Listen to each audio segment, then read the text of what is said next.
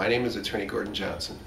This website is here because our firm, the Brain Injury Law Group, represents those who are injured or killed as a result of carbon monoxide exposure, um, carbon monoxide poisoning.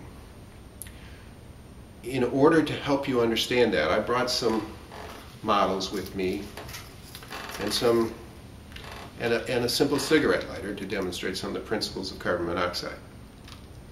The first thing you have to understand when understanding carbon monoxide is that carbon monoxide is produced by a simple combustion reaction like a flame. When I get the cigarette lighter to light, um, what you see is a flame. What's occurring in that flame is that carbon, the basic biological matter of created in the universe from plants, is being burned, um, being oxidized. The carbon is being combined with an oxygen atom and making um, a byproduct called carbon dioxide. I brought, made these two models, which are models of what um, carbon dioxide and carbon monoxide molecules look like. When we had our flame, what was happening is that carbon, which I've represented by the green for the green plants, and two oxygen atoms are combining. Um, that creates the molecule called carbon dioxide.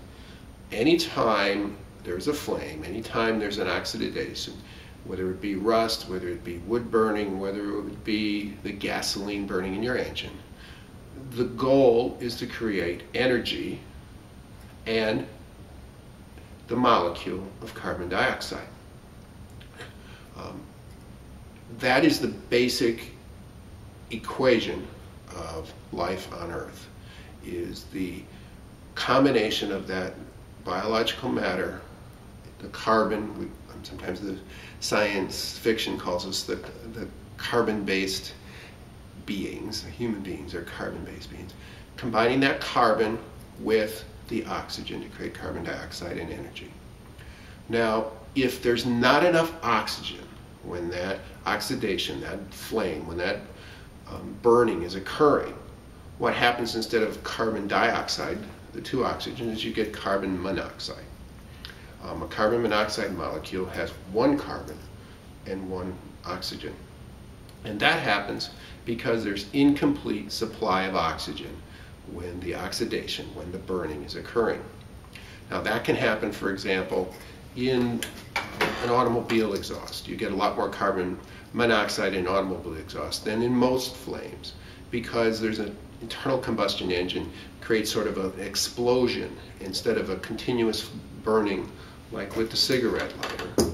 What you have in carbon monoxide creating um, situations like an automobile is a incomplete, not quite enough oxygen so that you don't get the full molecule.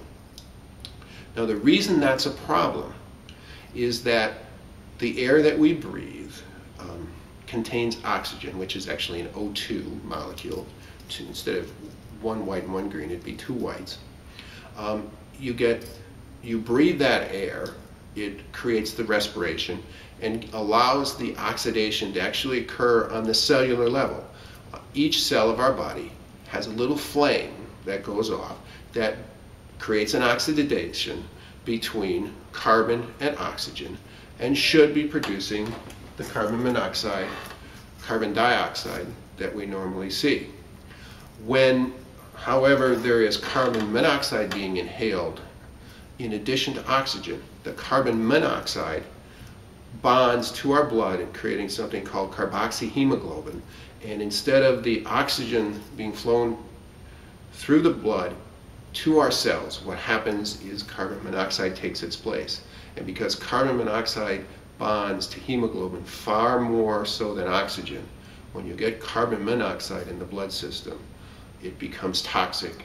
It replaces the oxygen and ultimately the cell gets asphyxiated. And if it's catastrophic enough, either um, loss of consciousness will occur and ultimately death.